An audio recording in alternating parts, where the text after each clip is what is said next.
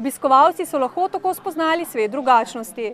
Ne, zato bi radi, da bi ta dan odprtih vrat izkoristili vsi, ki, ki bi radi spoznali naše drugačne ljudi, osebe z motnjo v duševnem in telesnem razvoju, ki imajo svoj svet, katerega hočemo mi obogatiti, ki ga hočemo narediti prijaznega, lepega in normalnega v njihovi drugačnosti. Varovanci sicer delajo v različnih delavnicah. Barvamo svilo, delamo svečke za birmo, za kar za obhajila, za poroke. Imamo tudi rojstne dneve, praznujemo, pa gremo tudi na letovanje, pa na končni izlet hodimo. Prej sem delala v tiskarski, pa pa v švedski del sem pa tle v skupini Luči. Nekaj izdelkov naredijo po naročilu naročnikov, ostale pa prodajo prek spletne ponudbe in v nekaterih prodajalnah.